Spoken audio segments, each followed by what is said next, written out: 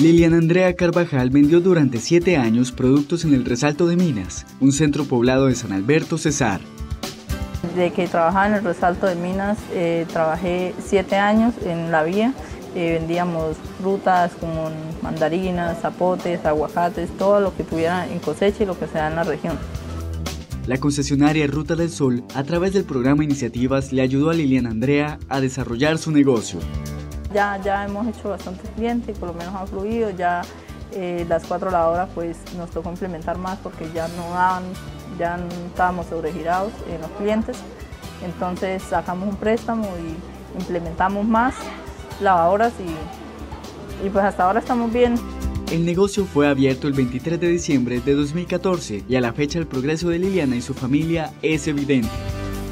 Pues los cambios es evidente, pues eh, por lo menos en caso de, trabajar en navío usted sabe que es riesgoso, aparte de que usted está expuesta a muchos peligros de, la vía como tal.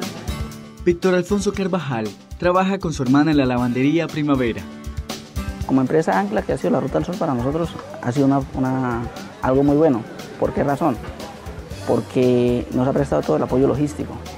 O sea, nos ha guiado el camino, nos ha llevado, o sea, cómo es el cuento, por qué está fallando esto, aquí están equivocados, mire, se pueden ir por este lado. Víctor Alfonso destaca las bondades del programa Iniciativas de la concesionaria Ruta del Sol. En el municipio deben existir empresas como, primero, como una empresa ancla como la Ruta del Sol, que es lo que ha dejado gran desarrollo acá en, en la región. Segundo, que se deben fundar empresas como estas. La lavandería Primavera está ubicada en la calle Sexta del barrio Primero de Abril, en el municipio de San Alberto, Cesar.